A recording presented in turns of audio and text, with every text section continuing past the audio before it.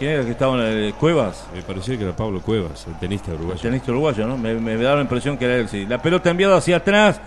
Eh, sentado en la tribuna observando el seguramente hincha nacional, ¿no? La pelota enviada a la punta izquierda, atención, se viene con la pelota dominada por aquel sector avanzando a Costa, Costa va a meter la pelota al área, rebotó, le quedó a Rodales, Rodales para Costa de nuevo, se perfila, mete el centro, viene al medio, está, rebotó, viene, Urreta,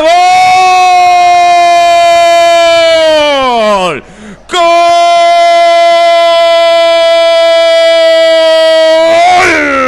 Nacional, Urreta Vizcaya apareció por el segundo palo. Una pelota que apareció por izquierda, gol de Rentista. Una pelota abierta para el futbolista Agustín Acosta. Acosta metió el centro, pasó por todo el mundo y Rentista llega a la partida al score. Entrando Urreta Vizcaya por el segundo palo. Qué mal marcó Nacional. No cerró el lateral Almeida. Se metió Urreta Vizcaya prácticamente la goal line para tomar la pelota y de primera dar un toque al balón. Dejar decretado la partida al score. Le dije Rentista estaba agazapado esperando la oportunidad. Error tremendo.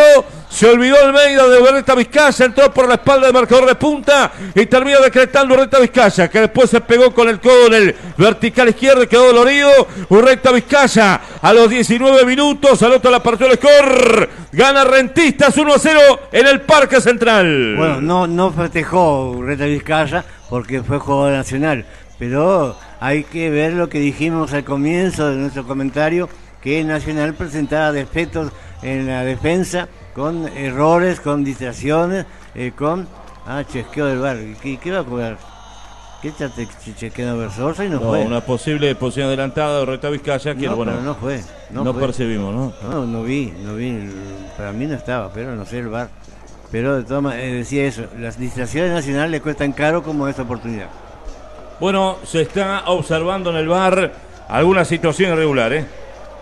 Se está observando en el bar alguna situación irregular. No sé si es por offside supuesto de Urreta Vizcaya. Urreta Vizcaya jugó en Peñarol, Beto, no jugó en Nacional, ¿eh? No sé por qué no lo gritó el gol.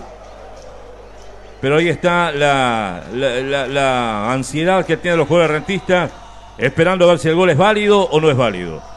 Yo no vi nada, ¿eh? Beto, yo no veo nada. Para mí offside no, no es, porque no. pica de atrás Yo no Vizcaya. vi, no vi nada tampoco. A no ser que haya existido alguna infracción por el Antes. medio que tampoco lo veo, ¿eh? Yo antes de la jugada no vi, porque Orsen para mí no fue. Y, y Reta Vizcaya tampoco, porque no sé, no sé qué es lo que el bar. Bueno, vamos, vamos a esperar. Vamos, Fernando, venda por favor mientras está la expectativa a ver si fue gol o si no fue gol.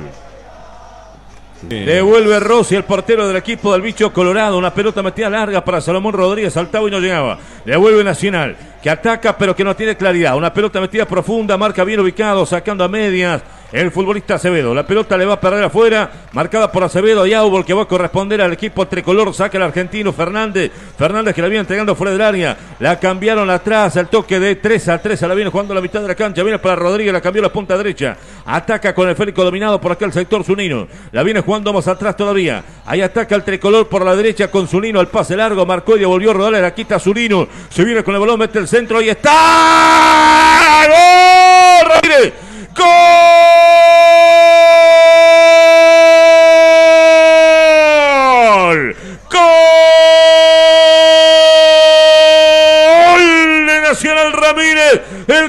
Ramírez entró por la mitad del área para buscar el centro de la punta derecha de Zulino. Una pelota medida y apareció por los puestos del 9 este joven delantero tricolor para meter un cabezazo certero abajo contra un palo y Ramírez. Anota el número 27 a los 24 minutos el empate igual a Nacional. Cuando los nervios ya estaban comiéndole la cabeza a los jugadores tricolores. A por los pues que mal marcó Rentista. Solo apareció Ramírez centro de Zulino y a cobrar. Está todo igual 1-1. Bueno, ahora finalizó Nacional lo que tenía eh, por un error defensivo. Eh. Ahí como pierde la pelota el lateral de, de, de Rentista, posibilitó el centro y ahí aparece muy solo el, el delantero Nacional.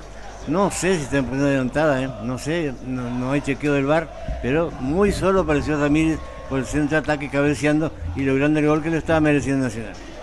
Pero tampoco me gusta que le meten la mano a un cuadro chico.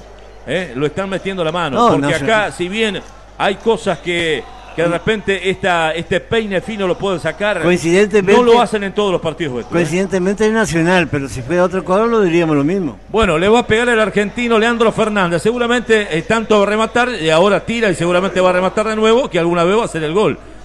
Ningún arquero ataja tres penales al mismo tiempo. Atención, tiró Fernández. ¡Gol de Nacional! Vamos a ver. Vamos a ver, a ver si, si repasa si hubo una invasión de algún jugador nacional también eh, en el área. No, bueno, pasa a ganar Nacional 2 a 1. Nacional pasa a ganar 2 a 1 en tres penales rematados. Insólito, ¿eh? Tres penales rematados. Yo quiero ver si en todos los partidos del campeonato uruguayo van a pasar el peine fino como le pasaron a Rentista. Gana Nacional 2 a 1, tiró tres veces el penal, dos veces a Robert Gesio y tiró Leandro Fernández contra un palo. Nacional 2, Rentista 1, pero fue increíble lo que vimos sobre el final del primer Yo- tiempo en el Gran Parque Central. Yo le pregunto a Fernando, te pregunto a vos y le pregunto al amigo de Rosa que siempre sé que está escuchando si alguna vez pasó esto. Para mí es la primera vez que veo esto. Hay córner que va a corresponder al bicho colorado que lo va a tomar desde la punta izquierda. Córner. El mejor negocio lo tiene Inmobiliaria del Litoral. Alquileres y venta de inmuebles, administración de propiedades, tasaciones de finca, chacras y campos del Litoral. La de Plaza Valle, teléfono 31 778. Ay, lo que va a ser el partido para Leodán González hasta el final. En cada jugada va a ser reclamada, va a ser protestada. Hay córner que lo va a tomar Urreta Vizcaya. Le va a pegar Urreta Vizcaya. La pelota, pierna derecha, punta izquierda, arco que sería de la tribuna Colombes. Tomado con referencia al Estadio Centenario, va Urreta. Le pegó Urreta Vizcaya, el arquero se quedó. ¡Gol! ¡Salomón! ¡Gol! ¡Salomón! ¡Gol! Apareció Salomón Rodríguez. El ariete, el número 9. Un centro al segundo palo. Se quedó el guardameta Rodríguez. Salió y dio una marcha atrás fatal. Y apareció Salomón Rodríguez que aprovecha el error del arquero. No lo puede creer ni Ligüera. Centro al segundo palo. Ahí apareció la cabeza del ariete Salomón Rodríguez para tomar la pelota del centro de la punta izquierda de Urreta Vizcaya y mandar la pelota al fondo del arco y empatar el partido. Están 2 a 2. Sinceramente, eh, vuelvo a decir, las distracciones defensivas de Nacional le están costando goles y le están costando partidos. Acá, espléndido el cabezazo, pero se quedó la defensa, nadie con error del arquero, Beto. ¿eh? Y, y el error del arquero, eh, tenía que haber salido de puño a esa altura ahí de- de- del área, pero son distracciones que, que le están costando caro a Nacional.